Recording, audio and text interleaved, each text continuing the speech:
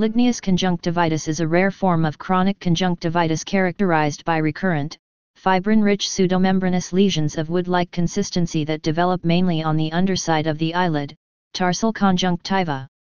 It is generally a systemic disease which may involve the periodontal tissue, the upper and lower respiratory tract, kidneys, middle ear, and female genitalia.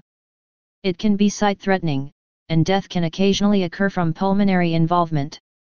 It has been speculated that ligneous conjunctivitis may be a manifestation of IgG4 related disease, IgG4RD, involving the conjunctiva.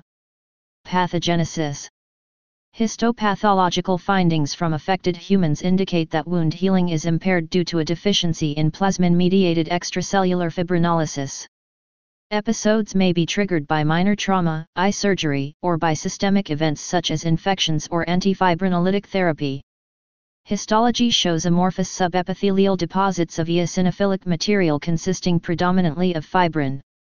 Treatment Ligneous conjunctivitis may be managed by topical treatments of plasminogen, topical and subconjunctival fresh frozen plasma, and fibrinolytic therapy. Please subscribe and thanks for watching.